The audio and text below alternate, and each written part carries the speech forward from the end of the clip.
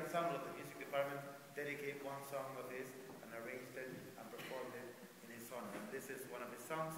It's called Barro Tal Vez. And uh, if I try to translate that, it will have no meaning.